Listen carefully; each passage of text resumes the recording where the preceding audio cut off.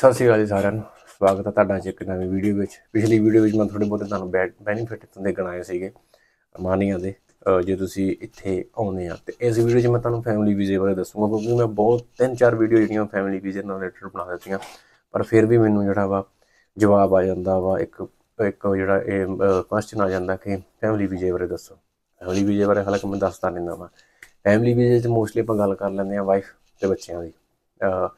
ਜੇ ਤੁਸੀਂ ਇਹ ਤੁਹਾਨੂੰ 1 ਸਾਲ ਹੋ ਗਿਆ ਵਾ ਇੱਥੇ, ਤੁਹਾਡਾ ਜਿਹੜਾ ਕਾਰਡ ਆ, ਜੇ ਤੋਂ 8 ਤੋਂ 10 ਮਹੀਨੇ ਵੈਲਿਡ ਆ, ਕਿਉਂਕਿ ਇੰਪੋਰਟੈਂਟ ਬਹੁਤ ਜ਼ਰੂਰੀ ਆ ਕਾਰਡ ਜੇ ਤੁਹਾਡਾ ਵੈਲਿਡ ਆ, ਤੇ ਤੁਸੀਂ ਆਪਣੀ ਫੈਮਿਲੀ ਨੂੰ ਇੱਥੇ ਸੱਦ ਸਕਦੇ ਆ। ਫੈਮਿਲੀ ਸੱਦਣ ਵਾਸਤੇ ਪਹਿਲਾਂ ਤੁਹਾਨੂੰ ਇੱਥੇ ਅਪਲਾਈ ਕਰਨਾ ਪੈਣਾ ਵਾ ਫੈਮਿਲੀ ਵੀਜ਼ਾ ਉਹਦੇ ਵਾਸਤੇ ਤੁਹਾਨੂੰ ਸਭ ਤੋਂ ਪਹਿਲਾਂ ਤੁਹਾਡਾ ਪਾਸਪੋਰਟ ਵੈਲਿਡ ਹੋਣਾ ਚਾਹੀਦਾ, ਜਿਹੜਾ ਹੁੰਦਾ ਹੀ ਆ।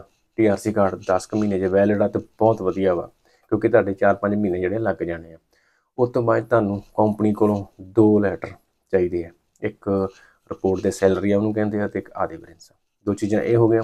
ਇਹ ਤੋਂ ਬਾਅਦ ਤੀਜਾ ਅਕੋਮੋਡੇਸ਼ਨ ਰਿਹਾਇਸ਼। ਰਿਹਾਇਸ਼ ਦਾ ਜਿਹੜਾ ਕੰਟਰੈਕਟ ਤੁਹਾਡੇ ਕੋਲ ਹੋਣਾ ਚਾਹੀਦਾ ਵਾ। ਖੁੱਲਾ ਹੋਵੇ ਤਾਂ ਵਧੀਆ ਗੱਲ ਆ, ਨਹੀਂ ਤਾਂ ਸਾਲ ਦਾ ਤਾਂ ਮਿਲ ਹੀ ਜਾਂਦਾ ਵਾ। ਠੀਕ ਆ? ਤੇ ਉਹਦੇ 'ਚ ਅਨਾਫ ਦਾ ਟੈਕਸ ਵੀ ਹੋਣਾ ਚਾਹੀਦਾ ਵਾ। ਉਹ ਜਦੋਂ ਤੁਸੀਂ ਕਿਸੇ ਆਪਣੇ ਮਾਲਕ ਕੋਲੋਂ ਜਿਸ ਕੋ ਘਰ ਲੈਣਾ ਵਾ, ਉਹਨੂੰ ਤੁਸੀਂ ਕਹਿ ਸਕਦੇ ਕਿ ਸਾਨੂੰ ਅਨਾਫ ਦਾ ਟੈਕਸ ਜਿਹੜਾ ਪੇ ਹੁੰਦਾ ਘਰ ਦਾ, ਸਾਨੂੰ ਉਹ ਦੇਣਾ। ਉਹਦੇ 'ਚ ਉਹਦਾ ਵੀ ਫਾਇਦਾ, ਤੁਹਾਡਾ ਵੀ ਫਾਇਦਾ। ਤੁਹਾਡੇ ਮਾਲਕ ਦਾ ਵੀ ਫਾਇਦਾ ਹੈਗਾ ਵਾ। ਜੋ ਟੈਕਸ ਪੇ ਕਰ ਰਿਹਾ, ਉਹਦੇ 'ਚ ਤੁਹਾਡਾ ਵੀ ਫਾਇਦਾ ਹੈਗਾ। ਕੁਝ ਕੁ ਜਿਹੜੀਆਂ ਇਮੀਗ੍ਰੇਸ਼ਨ ਮੰਗ ਲੈਂਦੀਆਂ ਵਾ ਪੇਪਰ ਕੁਝ ਨਹੀਂ ਮੰਗਦੀਆਂ ਬਟ ਉਹ ਲੈਣਾ ਜ਼ਰੂਰੀ ਆ। ਸਾਡੇ ਕੋਲੋਂ ਮੰਗਿਆ ਸੀਗਾ। ਠੀਕ ਆ?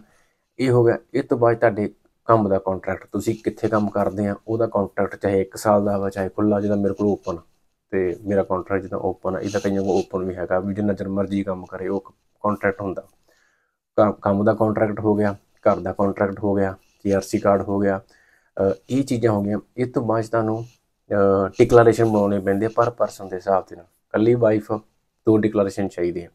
ਆ ਨਾਮ ਦੀ ਮੇਰੀ ਵਾਈਫ ਹੈ ਮੇਰੇ ਨਾਲ ਰਹੂਗੀ। ਇੱਕ ਡਿਕਲੇਰੇਸ਼ਨ ਦੂਜਾ ਡਿਕਲੇਰੇਸ਼ਨ ਆ ਨਾਮ ਦੀ ਮੇਰੀ ਵਾਈਫ ਆ, ਇਹ ਐਸ ਐਡਰੈਸ ਤੇ ਮੇਰੇ ਨਾਲ ਰਹੂਗੀ, ਮੇਰਾ ਦੂਜਾ ਕੋਈ ਮੈਰਿਜ ਮੋਰੀ ਨਹੀਂ ਹੋਈ। ਦੋ ਡਿਕਲੇਰੇਸ਼ਨ ਇਸ ਸਮੂਥਲੀ ਮਤਲਬ ਆ। ਹੋਏਗੀ ਜਿਹਨਾਂ ਨਾਲ ਬੱਚਾ ਵਾ, ਉਹਦਾ ਲਿਖਣਾ ਹੁੰਦਾ ਆ ਮੇਰੇ ਬੱਚੇ ਦਾ ਨਾਮ ਆ।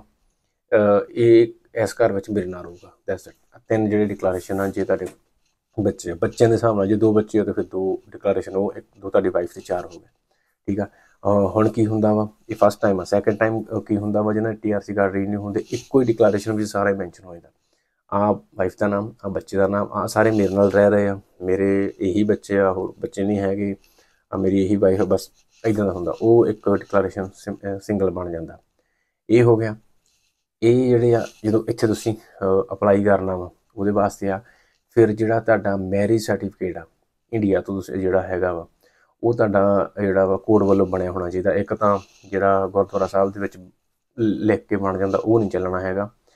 ਜਿਹੜਾ ਤੁਹਾਡਾ ਕੋਡ ਵੱਲੋਂ ਬਣਿਆ ਵਾ, ਠੀਕ ਆ, ਉੱਥੋਂ ਉਹ ਤੁਹਾਡਾ ਚੱਲਣਾ ਵਾ ਤੇ ਉਹ ਸਰਟੀਫਿਕੇਟ ਜਿਹੜਾ ਅਪੋਸਟਲ ਹੋਇਆ ਹੋਣਾ ਚਾਹੀਦਾ ਵਾ, ਪਟਿਆਲਾ ਹਾਊਸ ਤੋਂ ਇੰਡੀਆ ਤੋਂ, ਉਹ ਹੋ ਜਾਂਦਾ ਵਾ, ਠੀਕ ਆ।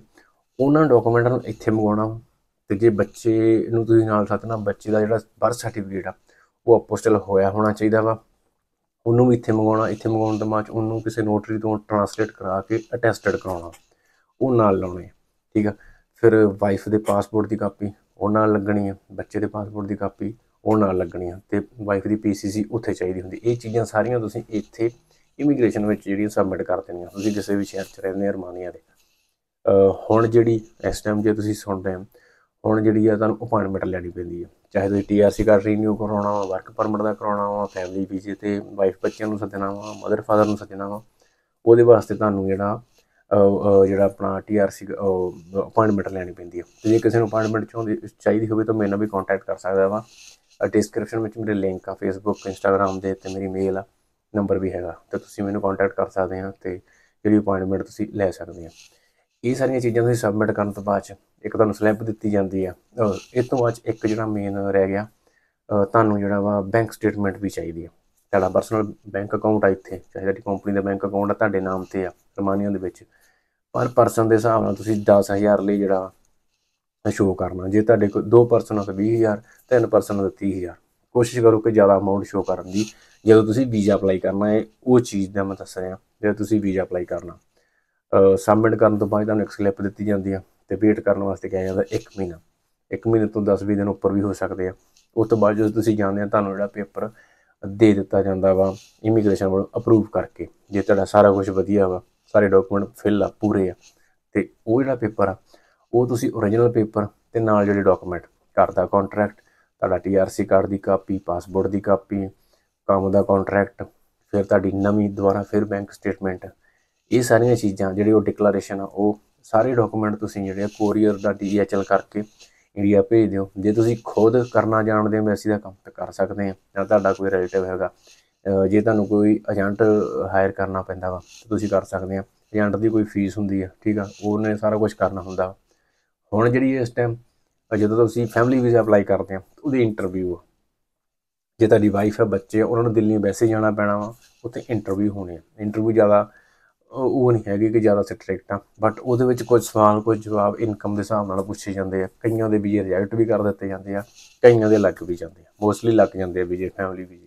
ਕਿਉਂਕਿ ਉਹ ਬੰਦੇ ਦੀ ਸੈਲਰੀ ਇਨਕਮ ਸਾਰਾ ਕੁਝ ਦੇਖ ਲੈਂਦੇ ਆ, ਉਸ ਹਿਸਾਬ ਦੇ ਨਾਲ ਵੀਜ਼ਾ ਮਿਲ ਜਾਂਦਾ ਈਜ਼ੀ ਮਿਲ ਜਾਂਦਾ। ਠੀਕ ਕੁਝ ਕਿਸਾਂ ਵਿੱਚ ਜਿਹੜਾ ਵਾ ਨਹੀਂ ਵੀਜ਼ਾ ਜਿਹੜਾ ਵਾ ਮਿਲਦਾ ਬਟ ਕੁਝ ਕੇਸਾਂ ਵਿੱਚ ਵੀਜ਼ਾ ਜਿਹੜਾ ਵਾ ਮਿਲ ਜਾਂਦਾ। ਅਹ, ਕੁਝ ਦੋ ਚਾਰ ਕੇਸ ਆ ਜਿਹੜੇ ਰਿਜੈਕਟ ਹੁੰਦੇ ਆ। ਵੀਜ਼ਾ ਲੈਣ ਤੋਂ ਬਾਅਦ ਚ ਵੀਜ਼ਾ ਤੁਹਾਨੂੰ ਮਿਲਦਾ ਵਾ 4 ਤੋਂ 6 ਮਹੀਨੇ ਦਾ। ਫੈਮਿਲੀ ਵੀਜ਼ਾ ਉਹ ਤੁਹਾਡੀ ਡਿਪੈਂਡੈਂਟ ਟੀਆਰਸੀ ਕਾਰਡ ਤੇ ਮੰਨ ਲਓ ਜਿਸ ਦਿਨ ਤੁਸੀਂ ਅਪਲਾਈ ਕੀਤਾ ਸੀਗਾ ਦਿੱਲੀ, ਤੁਹਾਡਾ ਟੀਆਰਸੀ ਕਾਰਡ 5 ਮਹੀਨੇ ਦਾ ਸੀਗਾ। ਠੀਕ ਹੈ, ਜਿਸ ਦਿਨ ਫਾਈਲ ਰੱਖੀ 5 ਮਹੀਨੇ ਦਾ ਤੁਹਾਡਾ ਟੀਆਰਸੀ ਕਾਰਡ ਸੀਗਾ। ਤੇ ਡਾਕੂਮੈਂਟ ਵਗੈਰਾ ਏਜੰਟ ਕੋਲੋਂ ਤਿਆਰ ਕਰਾਉਂਦੇ ਉਹਨਾਂ ਜੇ 4 ਮਹੀਨੇ ਦਾ ਰਹਿ ਗਿਆ, ਤੇ 4 ਮਹੀਨੇ ਦਾ ਤੁਹਾਨੂੰ ਤੁਹਾਡੀ ਫੈਮਿਲੀ ਨੂੰ ਵੀਜ਼ਾ ਮਿਲ ਜਾਣਾ। ਜੇ ਤੁਹਾਡਾ ਟੀਆਰਸੀ ਕਾਰਡ ਸੀਗਾ 6 ਮਹੀਨੇ ਤੋਂ ਪਲੱਸ ਤੇ ਫਿਰ ਤੁਹਾਨੂੰ 6 ਮਹੀਨੇ ਦਾ ਜਿਹੜਾ ਵੀਜ਼ਾ ਜਿਹੜਾ ਮਿਲ ਜਾਣਾ ਵਾ ਫੈਮਿਲੀ ਵੀਜ਼ਾ ਬੱਚੇ ਨੂੰ ਵੀ ਸੇਮ ਵਾਈਫ ਨੂੰ ਵੀ ਸੇਮ ਜੇ ਤੁਹਾਡੇ ਮਦਰ ਫਾਦਰ ਉਹਨਾਂ ਨੂੰ ਵੀ ਸੇਮ ਮਦਰ ਫਾਦਰ ਤੇ ਮੈਂ ਇੱਕ ਨਾ ਅਲੱਗ ਨਾਲ ਵੀਡੀਓ ਬਣਾ ਦੂੰਗਾ ਕਿਉਂਕਿ ਉਹਦੇ ਡਾਕੂਮੈਂਟ ਡਿਫਰੈਂਟ ਆ ਥੋੜੇ ਜਿਹੇ।